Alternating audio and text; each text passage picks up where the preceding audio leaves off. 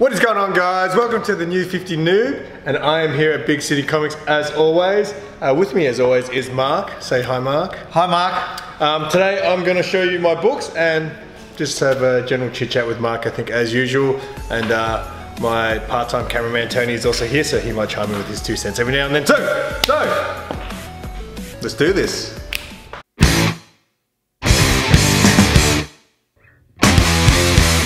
Alright guys, um, I'm going to show you my books for the week. Uh, first is following the viral Batman 89, I picked up Batman issue 90. What, what do you mean picked up? You're, it's on your. It is on my pull list. It's on so- your pull list. That's right. So Um, what are you talking about? Having a look at me. Is there any You're not one of those. You're not one of those jumping on people. No, no, no, not at all. Just seeing if there's any punchline in here, and I can't see any, but there's a very, very nice picture of Harley Quinn there, looking all gamed up playing a PlayStation. That's that's. Spoiler alert. Oh, sorry, whoops. Sorry. Anyway, um, so that's Batman issue 90. Oh, the designer. Oh, did you guys see the designer in issue 89? Probably not, because you didn't get it all. You got it, and you couldn't see him anyway. He's, he's- he's- he's got a, he's got a D on his face. guy. He's got a D on his face. Look at that. The designer, he's got a D on his face. Good. anyway, that is my books for the week. Just one book that is amazing for my wallet, which means I'm just gonna end up just buying some stuff. Actually, you know what? I might pick up a I might pick up a Flash 750. Maybe I'll go through some covers. Ooh, no, De- Dell'Otto. That's Dell'Otto. Gabriel Dell'Otto. I'm gonna go with this cover for Flash 750. Since I'm only picking up one book, I may as well pick up another one, right? What else have I got to do with my money? Anyway, that's my book. So um, I just want to obviously have a chat with Mark as I usually like to do about a certain topic, a bit of a continuation from what we chatted about in the video that I've probably released by now where we chatted about DiDio leaving and the future of DC and we've done previous videos about the 5G initiative. So something I've heard a lot, Mark, recently, I've been listening to a lot of podcasts and you know, doing a lot of reading. And there's this rumor going around and I just want to get your two cents on what the likely of this happening is. Um, that they're saying if the 5G thing does not sell well or doesn't do well, that they might completely shut down DC publishing. That is the rumor, 100%. Wait, like, I've, I've, go a heard. I've, I've heard that as well. Red is the color of the day, by the way, guys. Look how much red's going on there. Alright, yeah, sorry, yeah. Look, that's the rumor. They're going to completely shut down. I mean, that would be a shame, but But do you think that's a. Like, they're just talking about the comic book side of things, they wouldn't even Correct. just go digital? maybe off. I mean, it's it's it's owned by AT&T man. Like, can you? You are you wondering why it's called 5G? Yeah, no, that's what I was saying. Like, yeah, So- it makes it makes sense. And, and it makes sense that they do go digital for them, but not for us who love the paper, not us as a, as a comic book retailer. You know, what am I going to sell? A, a digital app? I mean, that they- well, they've lost their sales there. They'll cut us out, which is the middleman, out right out of the picture. And if that's how they want to go, that's fine. But at the end of the day, it'll just raise all the vintage stuff that is on paper a lot more higher. Well, that, that's what. You know? But I'd rather that not happen than um than it. I agree. is, I uh, agree. What else am I going to collect?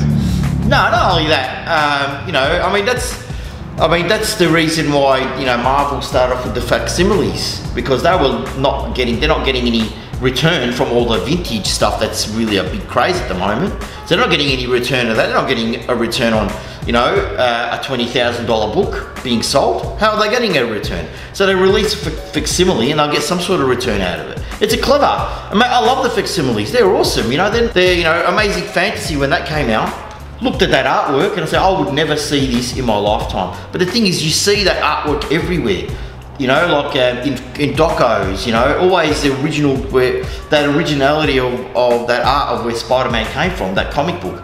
And so to hold it in my hands and, and read it and see the artwork was amazing. So, you know, I, I, I, I cut their hand, I cut my hands to Marvel for that smart, clever, you know, in, in, innovation. But at the end of the day, you know, that that should also prove to the companies of how popular the print is. I guess what what, when, what I was going to lead on to was because I know I think in the '90s there was trouble with the whole comic book industry. Like, has there been another time in history where comic books were close to, you know, They're always throughout the whole 80s and 90s.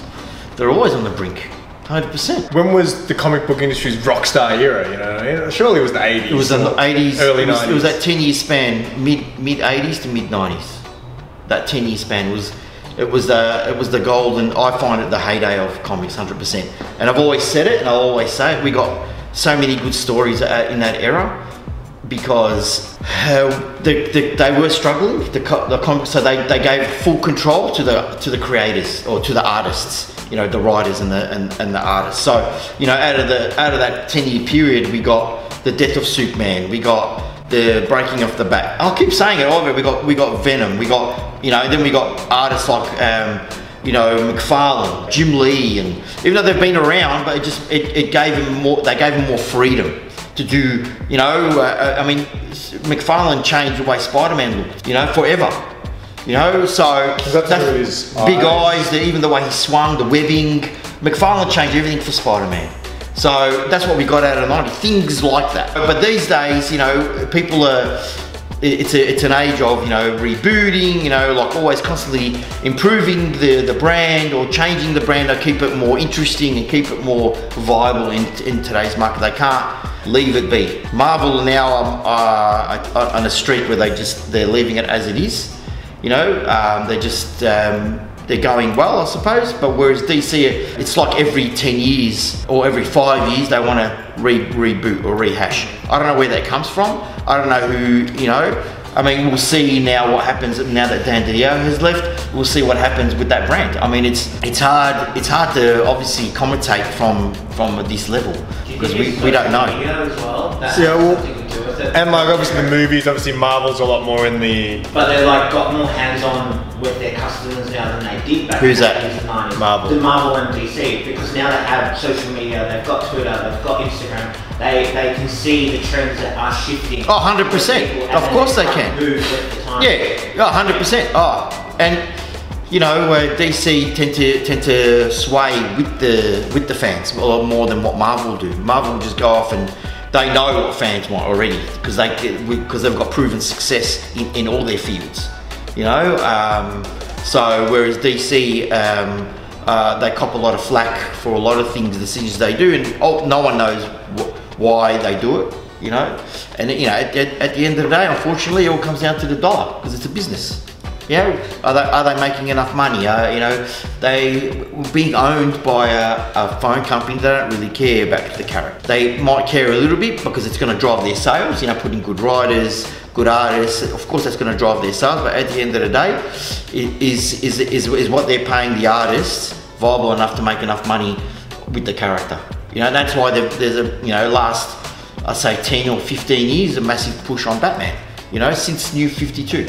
You know, huge push on Batman. They're putting good riders, You know, whereas the other, it, it comes to a point where you know where the other characters are left to you know swing in the wind. You know, um, only now that Superman's really, really getting a great, who's got a great writer, who's really getting good stories. a lot of people don't like Bendis as Superman.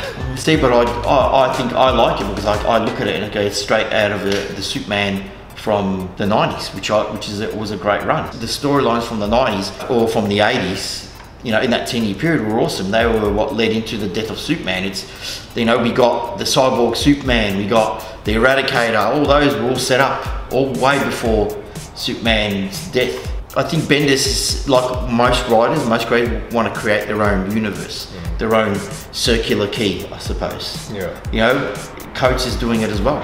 Yeah. hey, Billy G. Hey, Billy, come say hello. Oh shit, are you? We'll put a little pumpkin on your head, mate. Oh, Came early.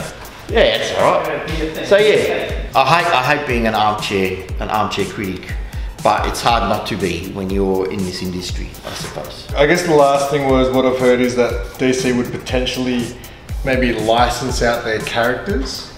Who knows? That, that is a, of course, that's a big rumor, and you know, big rumors that Marvel wants to take over or Disney. I mean, if that's the case, I mean, I know. I mean, from past experience, not that I know, but from ex, from past, from looking at it from the past, Marvel, I think, don't want a partial character. They're not going to get the characters just for the comics. I think they would want everything, you know, comics and the movies. Do you think it would be a big deal? Like, I mean, obviously there've been rumors that they're going to cross over at the moment and things like that. I think if I think if they if they if, if Disney owned everything, which is fine, but Like, imagine they, that world. They, they need to keep it separate. They still need Yeah. to keep DC Universe and Marvel Universe. I think they have. I think they have Superman and Thor, for an example, or Superman and Spider-Man in the same universe. with just too many heroes on one on one world. That would be, I mean, and, and yeah, have a crossover from time to time. That would be awesome.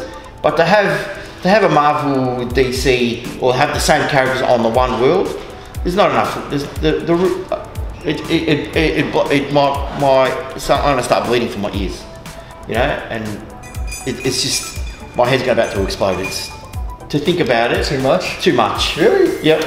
Absolutely too much. One thing that I love about things like this that happen in the industry is that it gets people talking about comics, and that's always good. For years, comics are always in the background. No one really, you know, it was a niche. It was, you know, an alternate form of entertainment. Now it's part of pop culture, which I, which I've always wanted it to be because it's it's a great medium. So I'm glad that we are talking about it, good or bad. Does that make sense? It does make I love it. Yeah. And you, got, you, you, got a haircut. I did get a haircut, mate. And you, you recoloured your hair. I did. Look at this guy. That's why I wore the red today, mate, to, uh, to, to match He just, my knocked, he just knocked off 20 years off his life. That's right. That. That's right. And- Mate, if I ever dye my hair back to just black, I'll add 40 years to my life. I'm telling you, mate, it's keeping me young. Well, we all, he might be uh, just colouring all the grey hairs. We really don't know how old no, I've been telling you, eventually it'll be half red, half grey, mate. Oh. It'll be when I'm more sophisticated and sexy and old. Did, they, did those words come together? No. Are you, are you saying I'm old You and are, sexy? you and are, mate. You are. In that last video, mate, we did. You were very sexy in that t-shirt. Oh, that Um, video is not coming to light. No, it's, Oh. already, it's already out there. I think by the time, this, comes, by the time this comes out, it'll be out there. Get out! Um, any other two cents, Tony? Anything to add? Nah, I'm all good. No. Billy? Nothing to add. Nothing to add from Billy G. Well, um, I think that's enough for today. Anything else coming out in the next week or the rest of the month? It's Oh, the beginning. off the top of my head, I can't tell you, man. I'm not prepared. No, I'm not I'm sorry.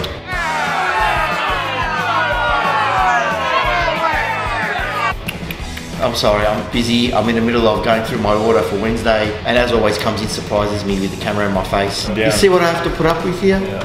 Huh? But he looks after I, I have one thing to say. Yeah. Keep it simple. What he said.